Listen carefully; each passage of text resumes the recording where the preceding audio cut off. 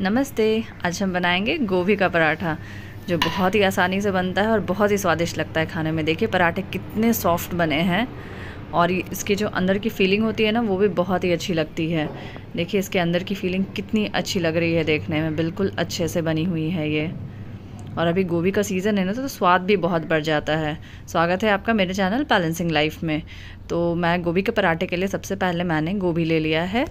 और ये मैंने फ्रेश गोभी लिया है। इसे आप अच्छे से साफ़ करके इसे पीसेस में कट कर लीजिए। जिस भी तरीके से आपको कट करना है। और इसे मैं चॉपर में अच्छे से इसे चॉप कर लूँगी। अच्छे से इसे फाइनली आप इसे चाहे तो ग्रेट भी कर सकते हैं। या आप इसमें हल्का सा इसे चर्न कर दीजिए।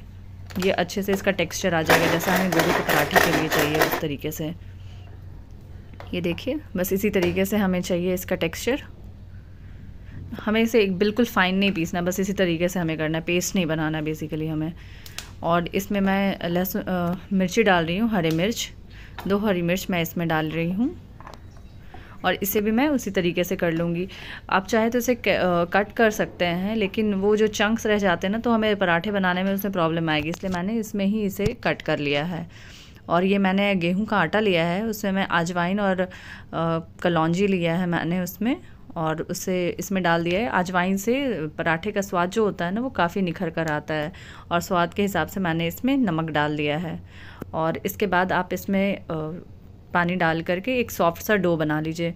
बहुत सॉफ्ट हमें नहीं चाहिए, बहुत हार्ड हमें नहीं चाहिए। नॉर्मली जैसे हम रोटी बनाने के लिए डो बनाते हैं ना, बस उसी तरीके का हमें चाहिए।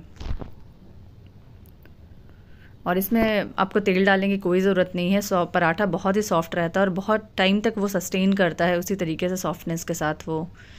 देखिए, हमारा आटा बिल्कुल रेडी हो गया है, बस इसी तरीके का हमें बहुत टाइट नहीं चाहिए, ऐसा ही हमें चाहिए। और ये मैंने कढ़ाई इधर गर्म कर ली है और इसमें मैंने सरसों का तेल डाला है, एक चम्मच मैंने जीरा डाला है इसमें, एक चम्मच मेथी डाली है और मैं इसमें गोभी जो है, वो अपने मैं इसमें डाल दे रही हूँ इसे फ्राई करने के लिए। अब सरसों तेल की जगह चाहे तो कोई भी तेल आप यूज़ कर सकते हैं, आप जो भी यूज़ करते होंगे। और इसे हमें अच्छे से फ्राई करना है। जब तक ये थोड़ा सा ब्राउन ना हो जाए, तब तक हमें इसमें फ्राई करना है इसे। बहुत ही आसानी से बनने वाला ये पराठा है। इसमें मैं जीरा पाउडर डाल रही हूँ, लगभग डेढ़ चम्मच। ये मैंने इसमें जीरा पाउडर डाला है। और ये मेरी कश्मीरी लाल मिर्च है, ये मैं बस कलर के लिए इसमें ऐड कर रही हूँ। आप, अगर आप नहीं डालना चाहते तो आप स्किप भी कर सकते हैं। आप लो टू मीडियम फ्लेम पर ही गोभी को फ्राई कीजिएगा अच्छे से। ज़्यादा टाइम नहीं लगता इसे फ्राई करने में, पाँच से सात मिनट में ही अच्छे से फ्राई हो जाती है। इसमें हम नमक डाल रहे हैं टेस्ट के हिसाब से। मैंने आटे में भी नमक डाला है तो आप नमक उस अकॉर्डिंग डालिएगा। और अब मैं इसमें हल्दी डाल रही हूँ। थोड़ा सा चुटकी भर बस मैंने हल्दी डाला है इसमें और इसे भी डाल करके हम अच्छे से मिक्स कर लेंगे। अभी ठंडी के सीज़न में ना गोभी के पराठे बहुत ही अच्छे लगते हैं खाने में। आप बच्चों को टिफ़िन में दे सकते हैं या आप ऑफ़िस में लेकर जा सकते हैं। कभी भी आप लंच में बनाइए, डिनर में बनाइए, ब्रेकफास्ट में, कभी भी ये बहुत ही अच्छे लगते हैं। और प्लीज़ मेरे चैनल को आप सब्सक्राइब कीजिए अगर आपको मेरी रेसिपीज़ पसंद आती है तो। और आपको क्या देखना है वो आप ज़रूर कमेंट बॉक्स में लिखिए। ये मैंने इसमें एक चम्मच चाट मसाला डाला है टेस्ट के लिए और ये मैंने धनिया काटा है। फ्रेश धनिया है ये, उसे मैं डाल रही हूँ इसमें। अगर आपके पास धनिया हो तो आप डालिए, उससे स्वाद बहुत ही अच्छा आता है। अगर नहीं हो तो कोई प्रॉब्लम नहीं है। इसे बस अच्छे से हमें मिक्स कर लेना है। हमारा गोभी का मसाला जो है वो ऑलमोस्ट डन हो गया है। इसमें से बहुत ही अच्छी स्मेल आती है। अब हम इसे बंद कर लेंगे। और ये देखिए, हमारा मिक्सचर रेडी हो गया और जो हमने आटे आटे का डो बनाया था ना, उसके मैंने पेड़े बना लिए हाथ में आप थोड़ा सा आटा, सूखा आटा ले लीजिए और इस तरीके से आप इसे किनारे से दबाते हुए और इसे एक कटोरी का शेप दे दीजिए। बस इसी तरीके से। और इसके अंदर अब हम गोभी की जो फीलिंग है ना, वो हम इसमें डालेंगे।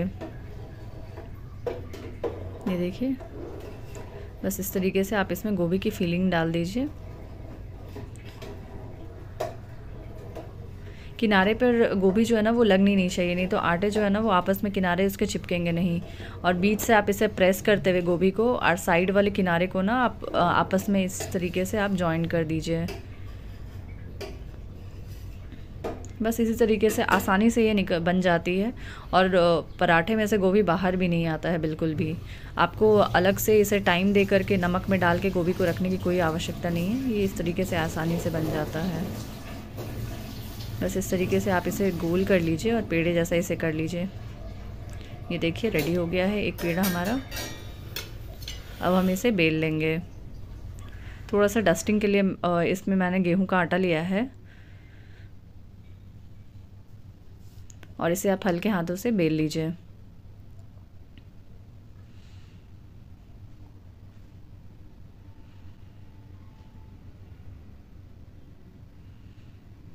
बस इसी तरीके से हमें घुमा घुमा करके इसे बेल लेना है अच्छे से। ये देखिए हमारा जो मसाला है वो ऊपर से कितने अच्छे से दिख रहा है मतलब अंदर में फीलिंग बहुत ही अच्छे से हुई है हमारी। रेडी हो गया है हमारा एक पराठा। अब हम इसे तवे पे डाल देंगे।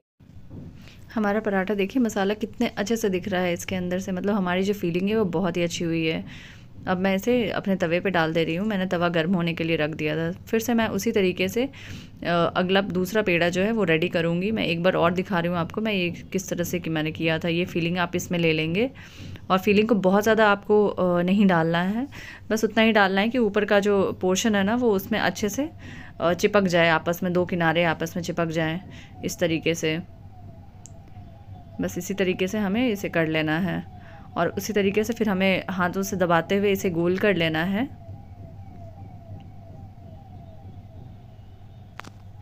और गो, और गोल करके हमें इसके पेड़े बना लेने हैं। अब इसे हम हल्के हाथों से इसे प्रेस करते हुए बेल लेंगे। ये देखिए, हमारा पराठा दूसरा भी बिल्कुल रेडी हो गया है। बहुत ही आसानी से बन जाता है और बिल्कुल भी इसमें से गोभी बाहर नहीं आती है। देखिए, हमने जो तवा पे पराठा डाला था, वो ऑलमोस्ट रेडी हो गया है, एक तरफ़ से सिक गया है। अब हम इस पर तेल ऑयल डालेंगे।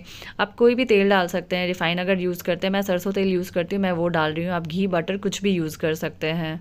सबके साथ ही ये बहुत ही अच्छा जाता है।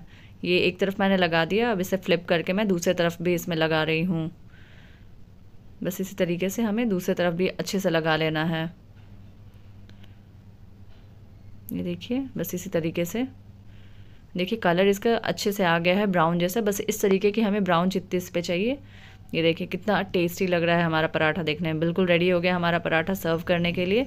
तो ज़रूर ट्राई कीजिएगा मेरी इस गोभी के पराठे की रेसिपी को और बताइएगा कैसा लगा आपको। Thank you